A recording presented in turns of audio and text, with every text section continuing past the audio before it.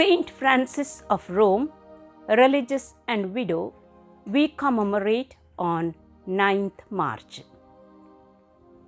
Saint Frances was born into a noble Roman family in the year 1384. From an early age, Frances felt drawn to the religious life, but at the age of 13, her parents forced her into marriage with young Lorenzo, a pious and virtuous nobleman of Rome.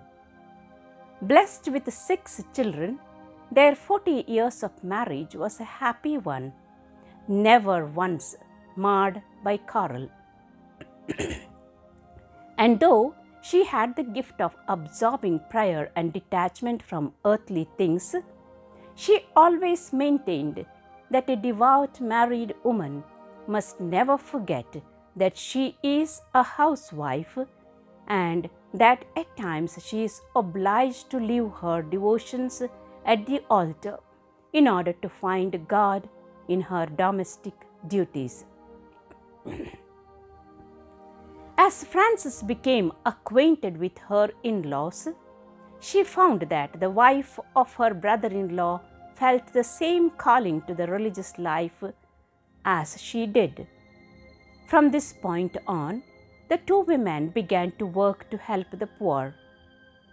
Frances' example of personal sanctity and moderated penances, her zeal for souls and charity towards the poor, served to draw numerous Roman noble women away from a life of idle luxury, and in 1433 they formed the Benedictine Oblate Congregation, whose constitution was formally approved by Pope Eugene IV in 1433, and which exists to this day, working for the sick and the poor. There were no formal vows or strict enclosure, but definite rules for prayer, visits to the sick and the poor.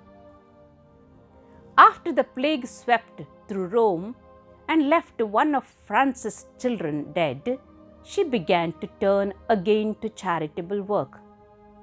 Frances gave up all her wealth to the sick and poor and began to go door to door, raising money to aid the sick and poor. After the plague claimed Frances' daughter, she opened up a wing of her home as a hospital for the poor. After setting up the foundation of the society, Frances continued to live with her husband until his death. After his death, Frances lived the rest of her life with the society that she formed. She died on 9th March 1440. She was canonized on 29th May 1608 by Pope Paul V. She is the patron of widows and motorists. The life of Frances of Rome calls each of us not only to look deeply for God in prayer, but also to carry our devotion to Jesus living in the suffering of our world. Frances shows us that this life need not be restricted to those bound by vows. As the saint of the day said, let us be assured by giving ourselves to God, we not only receive Him in exchange, but eternal life as well.